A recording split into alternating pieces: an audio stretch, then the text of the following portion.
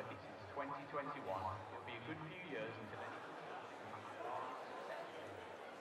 wins between 1952 and 1983.